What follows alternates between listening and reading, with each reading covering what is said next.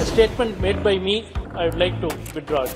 And I request and I request the words to be expunged from the uh, Speaker sir. The statement made by me yesterday, inadvertently, if it had hurt the uh, sentiments of the members and sections of the people, I would like to withdraw it.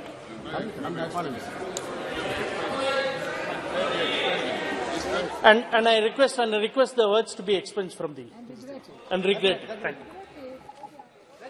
It is already expelled, but uh, you should regret it. Now it's over.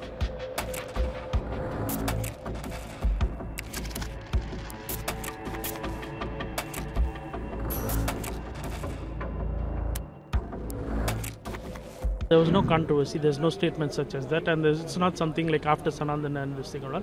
See, I made uh, some statement inside the house, and uh, during the when I made that statement, there was uh, the chairperson in the chair. There were uh, the home minister was there in the house. The BJP members were there, alliance partners were there, and so many other people were there. And this uh, this uh, specific topic, I've already used it before, also in my parliament speeches. You can go to the records and see the old house of the parliament it was one and a half years before during some other session.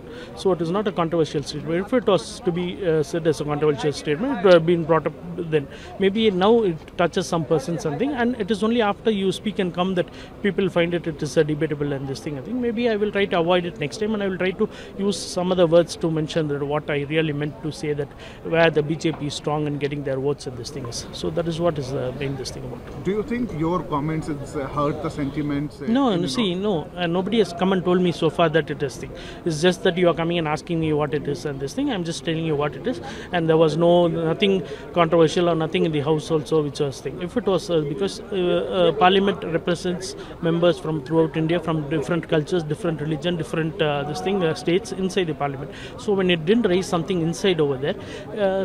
Things can be discussed and things can be debatable outside. So maybe next time when it, if, people find it really this thing, I will next time come and uh, try to use some other word in the, when I try to convey this thing. What you are referring to mention Gaumutra uh, and the BJP. Yeah, see, the ideologies of different different parties are different, and where the BJP is strong at and it's winning in elections is where they concentrate is the Hindi, the central of India, which we call is uh, the Hindi heartbelt. So that is what I meant in, when I mentioned that, and where it is difficult for them to penetrate into the south of India because uh, as and as they have uh, since the discussion was about Jammu and Kashmir, where it was the first time that a state has been converted into a union territory.